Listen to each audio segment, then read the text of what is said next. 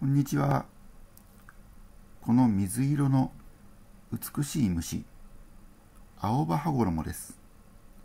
セミに近い仲間です。この虫、いかにもつかみやすそうな形をしていますが、では捕まえてみましょう。